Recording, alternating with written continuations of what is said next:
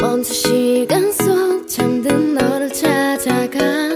아무리 막아도 결국 너의 곁인 걸. 길고 긴 여행을 끝내 이젠 돌아가.